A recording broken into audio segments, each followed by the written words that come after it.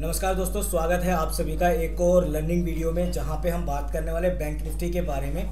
Bank Nifty ने अभी एक चैनल बनाया था, जैसा कि आप यहाँ पे देख सकते हैं। एक चैनल के अंदर मार्केट ने यहाँ पे क्या किया?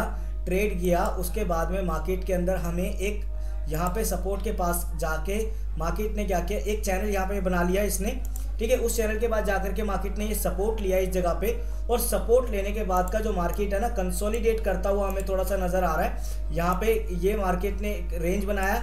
रेंज बना करके थोड़ा सा ब्रेकआउट दिया, फिर दोबारा से एक रेंज बना रहा है। अब देखिए, यहाँ पे किस जगह पे हमें बाय कर लेना है और किस जगह पे हमें सेलिंग का ट्रेड बनाना है, आज के पॉइंट ऑफ़ व्यू से अगर बात करें, अगर मार्केट ठीक है, चालीस हज़ार पाँच सौ पचास के अगर नीचे आता है चालीस हज़ार पाँच सौ पचास के अगर नीचे आता है तो हम यहाँ पे सेल करने का सोच सकते हैं। ठीक है?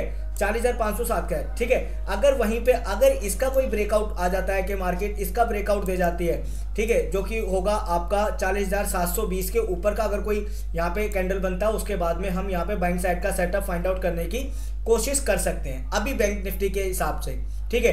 बाकी यहाँ पे जो चैनल बनाया, जिन लोगों ने यहाँ पे प्रॉफिट गेन किया है मैनी मैनी कॉन्ग्रेचुलेशन अगर आप नहीं कैच कर पाए इस मोमेंटम मोमेंटम को, कोई दिक्कत नहीं है। अभी दो बजे के बाद का एक मोमेंटम रह गया है। हो सकता है मार्केट के अंदर थोड़ा सा मोमेंटम आए अपसाइड के लिए या डाउन साइड के लिए, वो मोमेंटम आप डेफिनेटली कैच आउट कर सकते हैं।